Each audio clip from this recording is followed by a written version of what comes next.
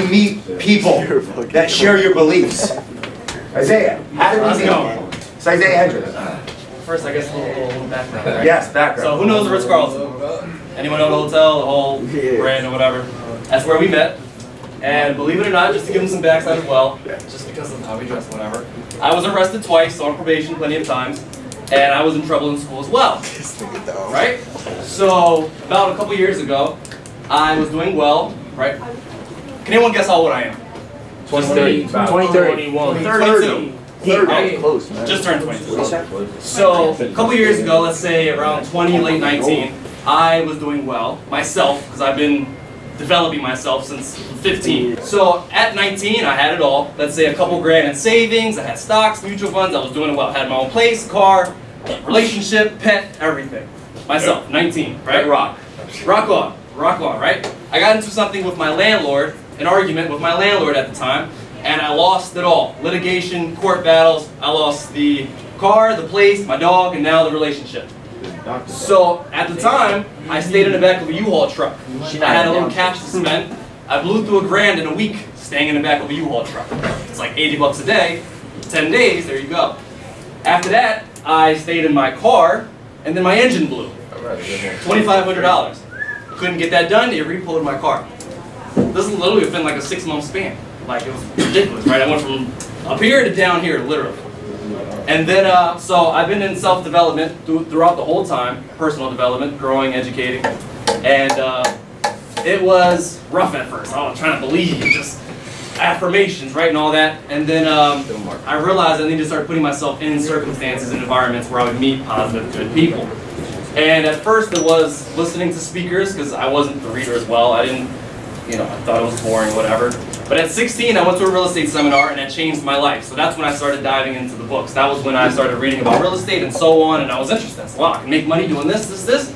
And just like you said, it's curiosity. It's just, wow, I can do this? Okay, it leads to one, leads to another. Now, can anyone guess how many books this man has read in the past year? Oh, about Jay. two. Thousand. Jay. Nah, A thousand. It's close. It's close. What is it, a thousand or so? Not in a year, but three Five years. Three years, all right. So for me, it's about 300. So you can kind of see the difference, right? The relation. Anyway, so I met this guy. I realized I need to start putting myself in the environments to meet positive people. So I started going to hotels, condos. I would literally just go there and put a little front on, put a little suit on, and just act like I was somebody. I was afraid to speak to people for like weeks. I figured I would go to someone and say, "Hey, I'm Isaiah." I mean, I was, I was running into senators, politicians, CEOs, executives. I was running into everyone. But every time I tried to walk up to them, there was nervousness, shakiness. Who, who heard of the law of attraction or believes in it? Law of attraction. Awesome. So, believe it or not, this man, Jay Duran, was the first person that I walked up to and said, "Hey, I'm Isaiah Hendricks."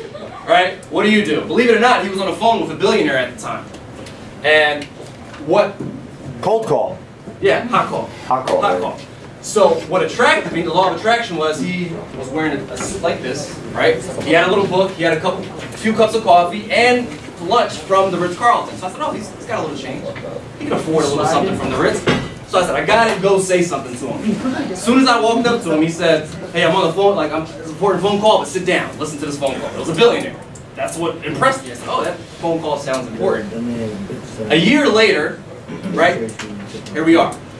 Culture Matters is a, we, we help people develop their values and pretty much self-educate because, well, believe it or not, we were both here, right? Like, it's hard to believe. When he brought me onto the goal and the mission, it was really hard to believe that we were going to be doing this.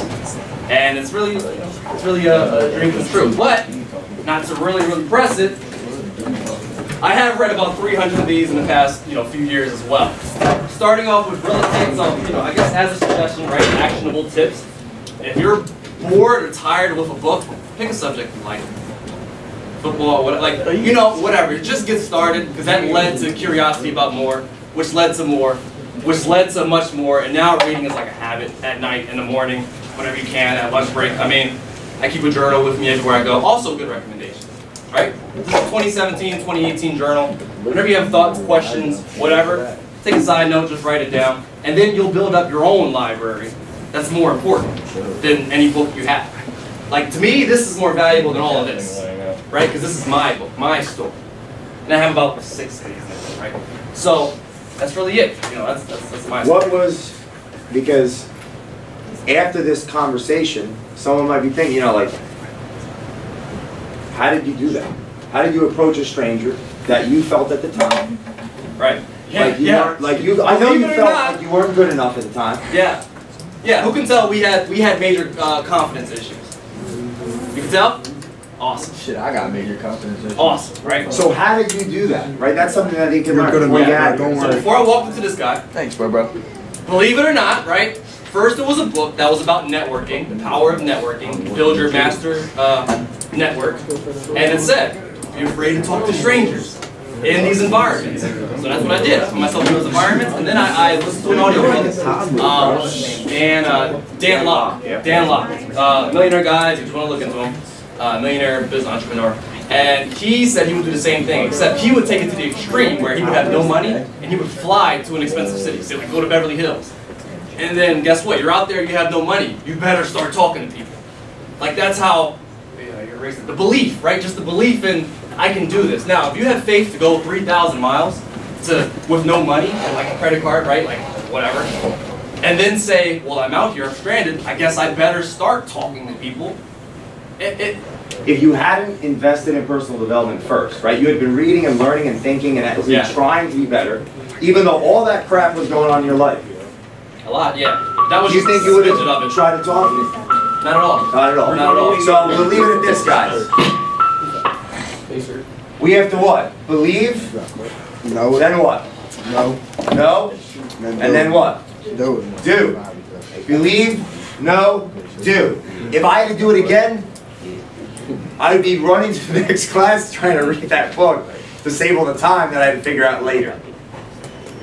And moving forward, if you want Culture Matters to come back and to have conversations that are open and honest, where we can learn and work together, talk to your teachers. If you want to shadow us for a day, talk to your teachers and work something out that shows them that you have some skin in the game.